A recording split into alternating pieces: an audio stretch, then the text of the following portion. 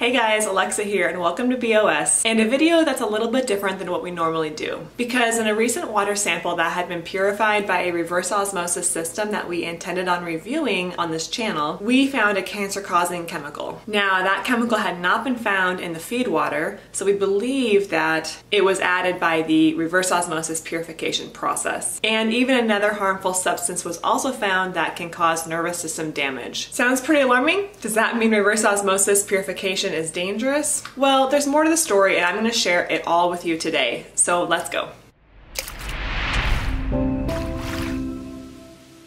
Now before I get too far into the video, make sure you do watch till the very end before you jump to any conclusions because I'm going to be explaining everything here in this video. With that out of the way, what is the mysterious RO system that we believe leached chemicals into our water? It's the A1 by Waterdrop. Now Waterdrop had reached out to us several weeks ago to see if we could review their A1 model, which is a countertop reverse osmosis system that can dispense hot and cold water. We thought that sounded pretty cool, so we said yes. And as we normally do nowadays, we decided to not only test test the system for hands-on experience, but also test the before and after water to see really how effective the Waterdrop A1 system is at removing contaminants from the water. So we do this through a lab analysis of the water. About a week later, I received the Waterdrop A1 filter and the box with all of its contents and it was time to unpack it and get it assembled. I also received test kits from ETR Laboratories which I had planned to test the water with. Now I do want to point out that I had followed the instructions from the Waterdrop manual to a T with how to set this up.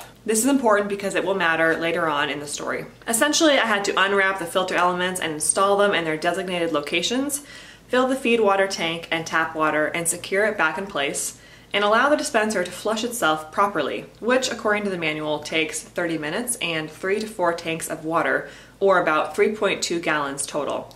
Again, I followed all the instructions precisely until my systems interface looked exactly like it should and as shown in the manual. Next, I used the Waterdrop A1 for about two weeks. My whole family used it. This was before we took the water samples. I think I used about two gallons of purified water per day, so an additional 25 to 30 gallons of water went through the system. I then took the unfiltered and filtered water sample. First, I made sure to drain the Waterdrop A1 completely.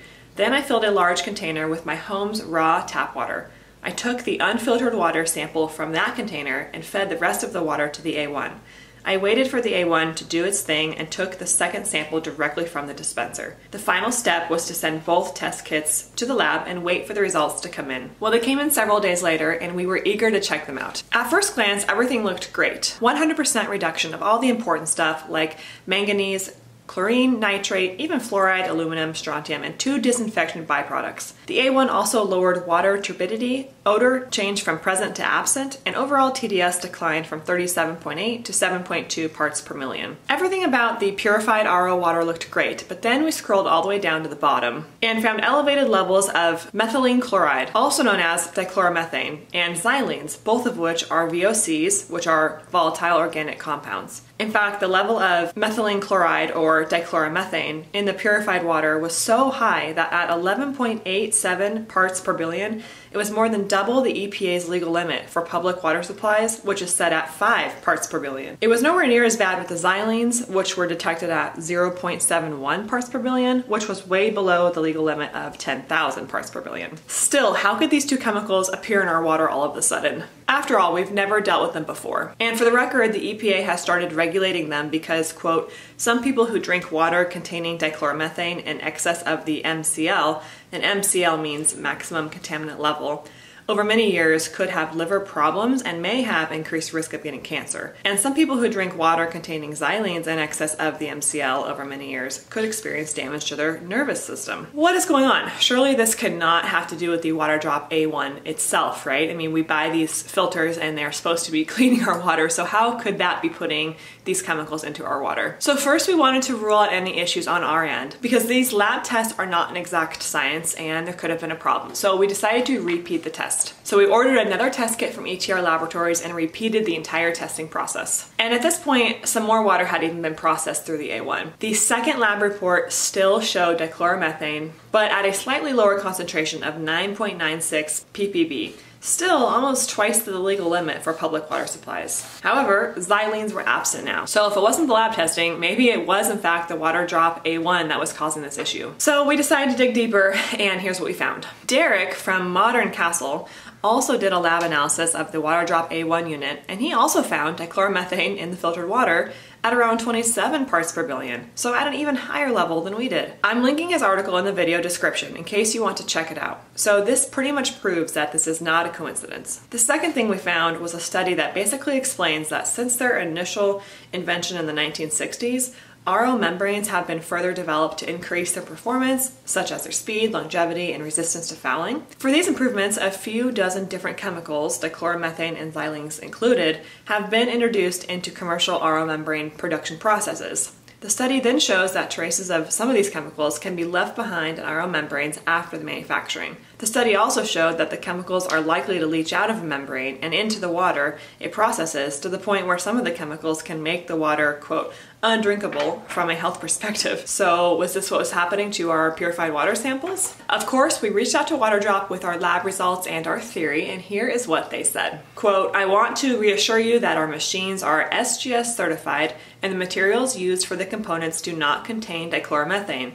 It seems that the issue has arisen during the aging process as after several normal running cycles of the machine, a disinfectant solution is used for sanitation. So as far as we understand in that reply, the Waterdrop A1 has a small tank that occasionally releases a disinfectant into the water, and the disinfectant apparently contains dichloromethanes and xylenes. Honestly, we were a bit surprised by this because the manual doesn't even mention such a tank, which we're also assuming you'd have to refill at some point too.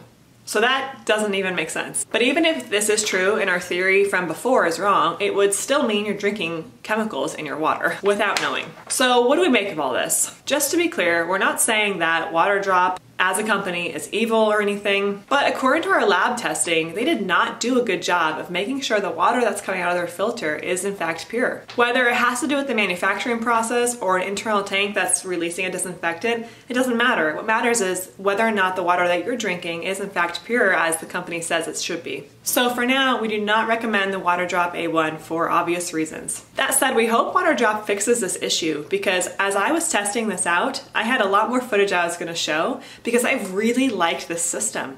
It dispenses hot and cold water. It was kind of a luxury to have around our house for a little while. So when I sent the lab reports in, I was really rooting for them to come back good. We also have not lab tested any other Waterdrop systems, but we plan to do so in the future, so stay tuned for that. What about reverse osmosis from other brands? So far we've tested the Simpure Y7P and the AquaTrue on this channel with no chemicals detected whatsoever. And we are 100% sure that neither of the two systems disinfect itself on occasion using potentially harmful chemicals that end up in the purified water. And again, we will continue conducting more lab results. In fact, right now we're working on a really big comparison video of the top reverse osmosis systems, so stay tuned for that. Well, thanks for joining me for another review of water filters in this video today, even though this one was a little bit different and unexpected. Make sure you hit that subscribe button for more BOS water filtration content and reviews. Thank you so much for watching, and I'll see you in the next video.